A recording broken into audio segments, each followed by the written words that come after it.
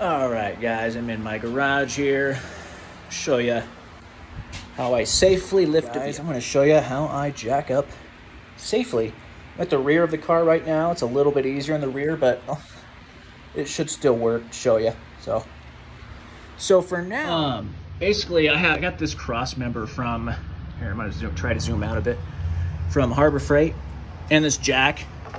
Harbor Freight gets a lot of crap, but this thing has lasted me like 10 years and it's still going just fine. So I like to use this cross member. It's super, makes it a lot safer in my opinion, if you want to just jack up the entire front or back of your car. See, you could just super safe and uh, then you got two points of contact. I, I just because I'm I'm a safety. I'm I'm kind of uh, paranoid.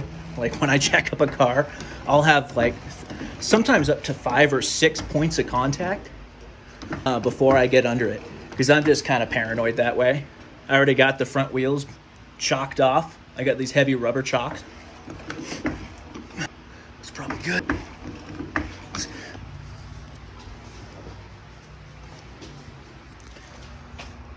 So I use three ton jacks.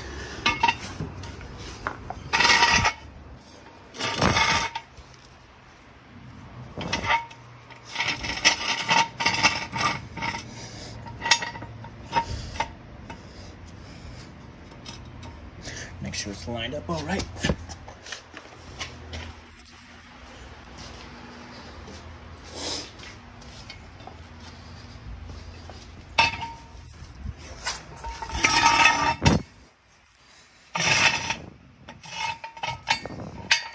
You want to even on both sides, so since I could only get it up one click on the other side, that's what I'll do here too. And what I do if it's not in the way, you let it down very slowly. I let it down part way and then I go check. Make sure they're in the right spot. Sometimes they're not quite. Actually, hold on.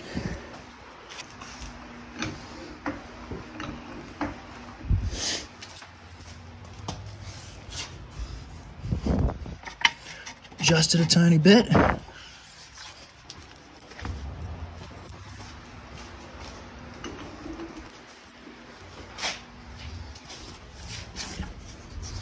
That one looks pretty good. What I do, check both before I let all the weight down. That one looks good.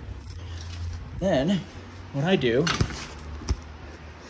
all the way, just to the point, you let it down just to the point where it's it's let loose, then you jack it up a tiny bit more, just a couple jacks. That way, three points of contact right there. Sometimes I'll even use my backup jacks stands. Just put them underneath. Most people would call this paranoid, but I've heard a lot of horror stories, so.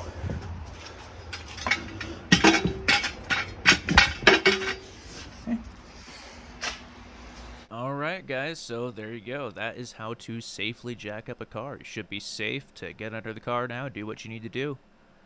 To get it down, it's pretty self-explanatory. You just jack it up, remove the jack stands, and bring it down slowly.